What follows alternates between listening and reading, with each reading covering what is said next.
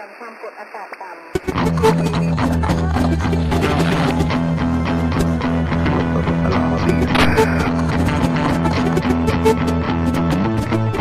สารต้องทำให้ชาวบ้าน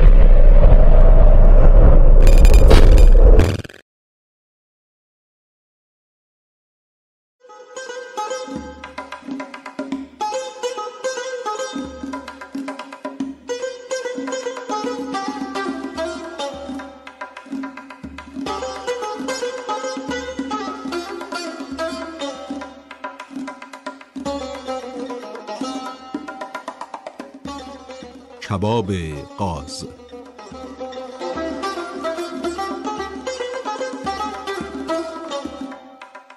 نوشته سید محمد علی جمالزاده.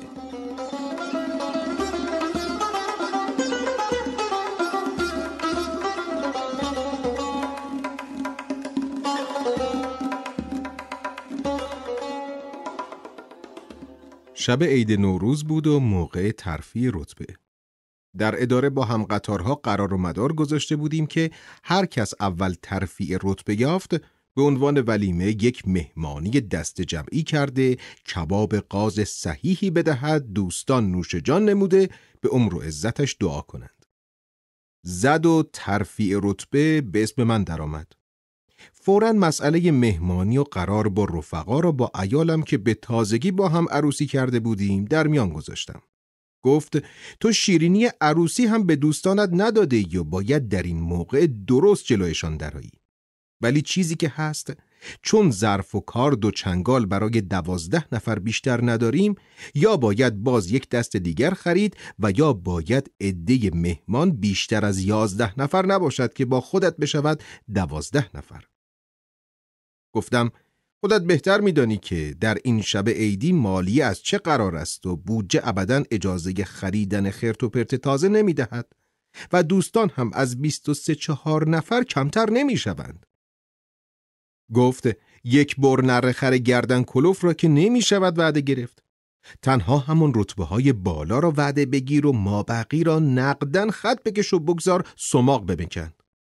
گفتم ای بابا خدا را خوش نمی آید. این بدبخت ها سال آزگار یک بار برایشان چنین پایی میافتد و شکمها را مدتی صابون زدند که کباب قاز بخورند و ساعت شماری می کنند. اگر از زیرش در بروم چشمم را در خواهند آورد و حالا که خودمانیم حقم دارند.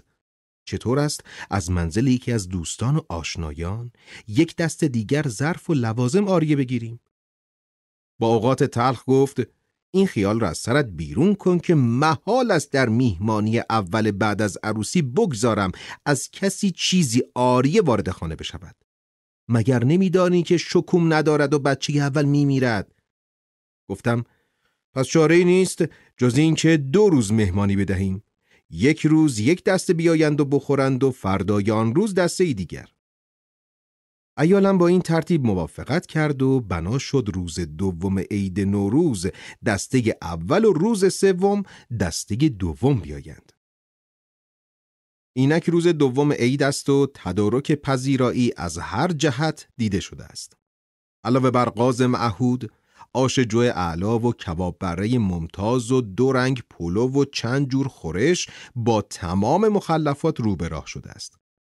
در تخت خواب گرم و نرم و تازه‌ای که از جمله اسباب جهاز خانم است لم داده و به تفریح تمام مشغول خواندن حکایت‌های بی‌نظیر صادق هدایت بودم.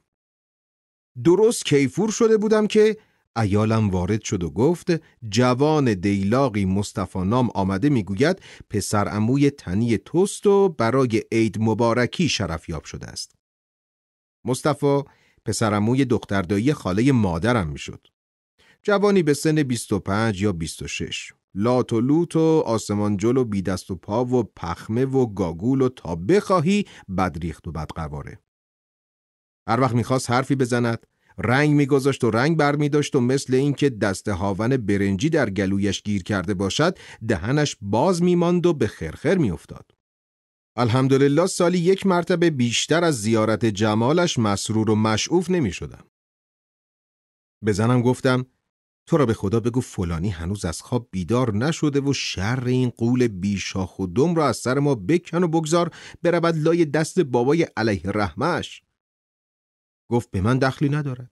مال بد بیخیریش صاحبش. مشالله هفت قرآن به میان پسر عموی دست دیزی خودت است. هر گلی هست به سر خودت بزن. من اساسا شرط کردم با قوم و خیش های ددری تو هیچ سر و کاری نداشته باشم. آن هم با چونین لندهور الدنگی دیدم چاره نیست و خدا را هم خوش نمی آید این بیچاره که لابد از راه دور و دراز با شکم گرسنه و پای برهنه به امید چند ریال عیدی آمده نامید کنم. پیش خودم گفتم چون این روز مبارکی سله ارهام نکنی کی خواهی کرد؟ لذا صدایش کردم. سرش را خم کرده وارد شد. دیدم ماشالله چشم بد دور آقا وا ترقیدند. قدش دراز و پک و پوزش کریهتر شده است. گردنش مثل گردن همان قاز مادر مرده ای که در همان ساعت در دیگ مشغول کباب شدن بود سر از یقه چرکین بیرون دوانیده بود و اگرچه به حساب خودش ریش تراشیده بود اما پشمهای زرد و سرخ و خرمایی به بلندی یک انگشت از لای یقه پیراهن سر به درآورده و مثل کرمهایی که به مارچوبه گندیده افتاده باشند در پیرامون گردن و گلو در جنبش و احتزاز بودند. از توصیف لباسش بهتر است بگذریم ولی همینقدر می‌دانم که سر زانوهای شلوارش که از بس شسته شده بودند به قدر یک وجب خورده رفته بود چونان باد کرده بود که راستی راستی تصور کردم دور از هندوانه از جایی کش رفته و در آنجا مخفی کرده است. مشغول تماشا و ورانداز این مخلوق کمیاب و شی عجیب بودم که ایالم حراسان وارد شده گفت خاک به سرم مرد حسابی. اگر ما امروز این قاز را برای مهمانهای امروز بیاوریم برای مهمانهای فردا از کجا قاز خواهی آورد؟ تو که یک قاز بیشتر نیاورده ای و به همه دوستانت هم وعده کباب قاز داده ای دیدم حرف حسابیست و بد قفلتی شده. گفتم آیا نمی شود نصف قاز را امروز و نصف دیگرش را فردا سر میز آورد؟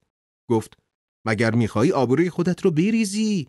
هرگز دیده نشده که نصف قاز سر سفره بیاورند.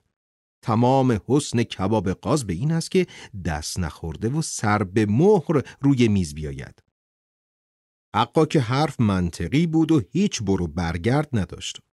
در دم ملتفت وخامت امر گردیده و پس از مدتی اندیشه و استشاره چاره منحصر به فرد را در این دیدم که هر طور شده تا زود است یک قاز دیگر دست و پا کنیم.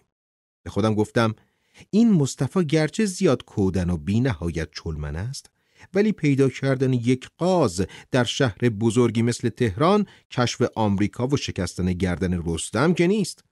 لابد اینقدرها از دستش ساخته است. به او خطاب کرده گفتم مصطفی جان لابد ملتفت شده این مطلب از چه قرار است؟ سر نازنینت را بنازم می‌خواهم نشان بدهی که چند مرده حلاجی و از زیر سنگ هم شده امروز یک عدد قاز خوب و تازه به هر قیمتی شده برای ما پیدا کنی. مصطفی به عادت معهود ابتدا مبلغی سرخ و سیاه شد و بالاخره صدایش بریده بریده مثل صدای قلیانی که آبش را کم و زیاد کنند از نیپیچ حلقوم بیرون آمد و معلوم شد میفرمایند در این روز عید قید قاز را باید به کلی زد و از این خیال باید منصرف شد چون که در تمام شهر یک دکان باز نیست. با حال استیصال پرسیدم پس چه خاکی به سرم بریزم؟ با همان صدا و همان اطوار آب دهن را فرو برده گفت والا چه عرض کنم مختارید ولی خوب بود میهمانی را پس میخواندید گفتم خدا عقلت بدهد. یک ساعت دیگر مهمانها وارد می‌شوند. چطور پس بخوانم؟ گفت خودتان را بزنید به ناخوشی و بگویید طبیب قدغن کرده. از تخت خواب پایین نیایید. گفتم همین امروز صبح به چند نفرشان تلفن کردم. چطور بگویم ناخوشم؟ گفت بگویید قاس خریده بودم سگ برده. گفتم تو رفقای مرا نمی‌شناسی. بچه قنداقی که نیستند بگویم ممه را لولو برد و آنها هم مثل بچه آدم باور کنند. خواهند گفت جانت بالا بیاید. می‌خواستی یک قاز دیگر بخری یا اصلا پاپی می‌شوند که سگ را بیاور تا حسابش را دستش بدهیم؟ گفت بسپارید اصلا بگویند آقا منزل تشریف ندارند و به زیارت حضرت معصومه رفتند. دیدم زیاد پرت و پلا می‌گوید. خواستم نوکش را چیده، دمش را روی کولش بگذارم و به امان خدا بسپارم. گفتم مصطفی میدانی چیست؟ عیدی تو را حاضر کردم. این اسکناس را می‌گیری و زود می‌روی که می‌خواهم هرچه زودتر از قول من و خانم به زنمو جانم سلام برسانی و بگویی انشاالله این سال نو به شما مبارک باشد و هزار سال به این سالها برسید. ولی معلوم بود که فکر و خیال مصطفی جای دیگری است. بدون آنکه اصلا به حرفهای من گوش داده باشد دنباله افکار خود را گرفته گفت اگر ممکن باشد شیوهی سوار کرد که امروز مهمانها دست به قاز نزنند. می شود همین قاز را فردا از نو گرم کرده دوباره سر سفره آورد. این حرف که در بادی امر زیاد بی پا و بی معنی به نظر می آمد کم کم وقتی درست آن را در زوایا و خفایای خاطر و مخیله نشخار کردم معلوم شد آنقدرها هم نامعقول نیست و نباید زیاد سرسری گرفت. هرچه بیشتر در این باب دقیق شدم یک نوع امیدواری در خود حس نمودم و ستاره ضعیفی در شبستان تیر و تار درونم درخشیدن گرفت.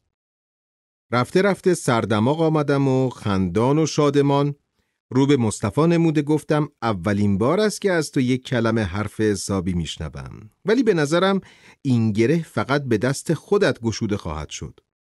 باید خودت مهارت به خرج بدهی که احدی از مهمانان در صدد دست زدن به این قاز بر نیاید مصطفی هم جانی گرفت و گرچه هنوز درست دستگیرش نشده بود که مقصود من چیست و مهارش را به کدام جانب می‌خواهم بکشم آثار شادی در وجناتش نمودار گردید. بر تعارف و خوش زبانی افسوده گفتم چرا نمیای بنشینی؟ نزدیکتر بیا. روی این صندلی مخملی پهلوی خودم بنشین. بگو ببینم حال احوالت چطور است؟ چه کار می‌کنی؟ میخوایی برایت شغل و زن مناسبی پیدا کنم؟ چرا گز نمی‌خوری؟ از این باقلا نوش جان کن که سوقات یزد است. مصطفی قد دراز و کج و معوجش را روی صندلی مخمل جا داد و خواست جویده جویده از این بروز محبت و دلبستگی غیر مترقبه هرگز ندیده و نشنیده سپاسگزاری کند ولی مهلتش نداده گفتم استغفر الله این حرفها چیست؟ تو برادر کوچک من هستی. اصلا امروز هم نمی‌گذارم از اینجا بروی. باید میهمان عزیز خودم باشی. یک سال تمام است این طرف ها نیامده بودی. ما را یک سر فراموش کرده یا انگار نه انگار که در این شهر پسر عمویی هم داری. معلوم می شود از مرگ ما بیزاری.